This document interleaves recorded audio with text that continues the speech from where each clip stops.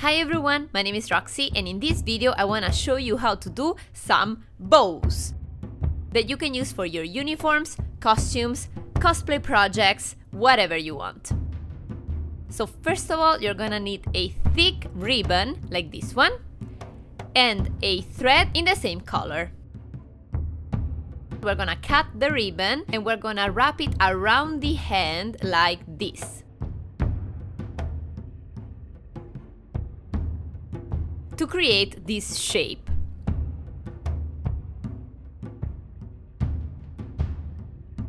Then we're gonna take the thread and we're gonna pass it in the center of the ribbon like this.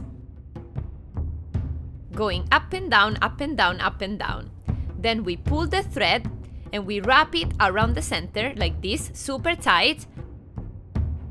We make a knot and we cut the thread. Then we're gonna need another piece of ribbon, super small like this one. And we're gonna use some hot glue to glue it like this.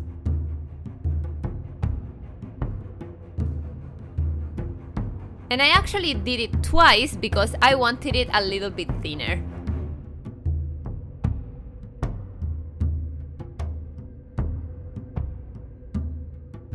Now we glue this on top of the bow, like this.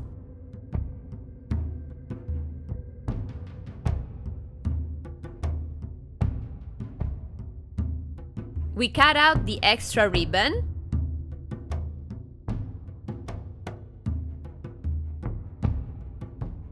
We burn the edges of the ribbon.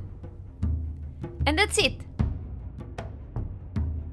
Here you have your DIY bow.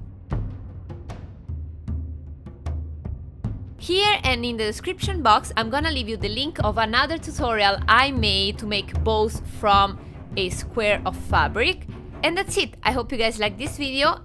As always, I say hi to all the people who tweeted me, and I'll see you guys next time. Bye! Mwah!